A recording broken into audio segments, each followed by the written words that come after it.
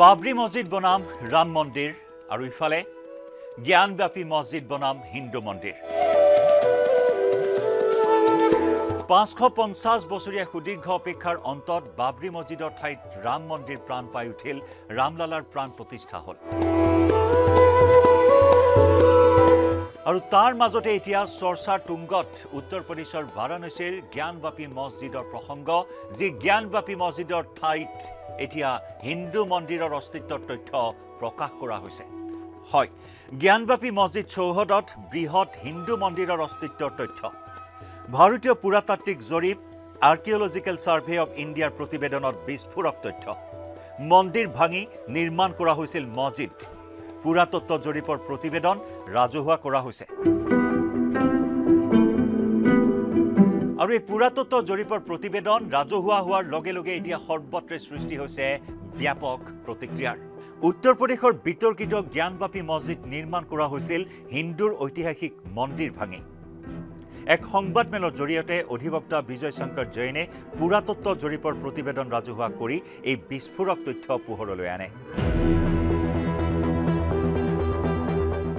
फिर sculpture remains in the cellars etcetera it can be said that अब ये ASI का जो कंक्लूजन है, मैं वो आपको पढ़ के सुना रहा हूँ।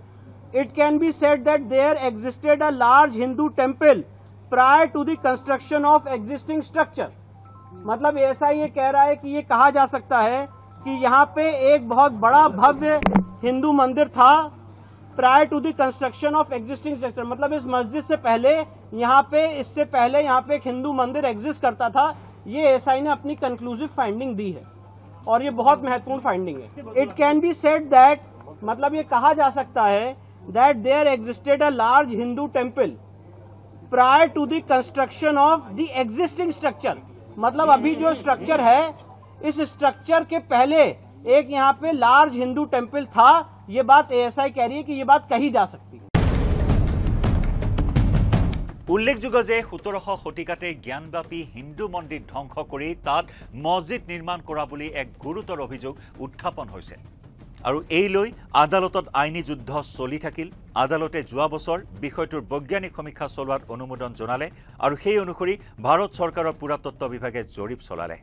জৰীপৰ প্ৰতিবেদন ইতিমধ্যেই বাৰাণসী আদালতত দাখিল কৰাৰ পিছত সেই প্ৰতিবেদন ৰাজহুৱা কৰা হ'ল।